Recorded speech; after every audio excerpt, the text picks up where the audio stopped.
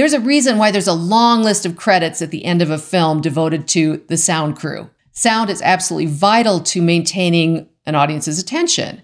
And no audience and no customer is going to struggle to understand what you're saying.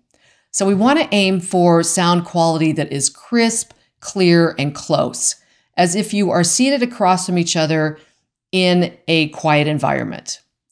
Now, most laptop microphones are insufficient in this area.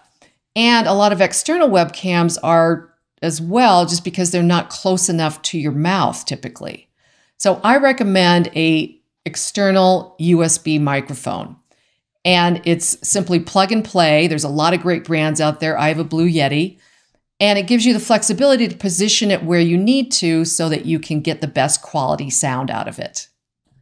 Let's talk about distance from your mouth to the microphone. Many experts suggest about three or four fingers between you and the microphone.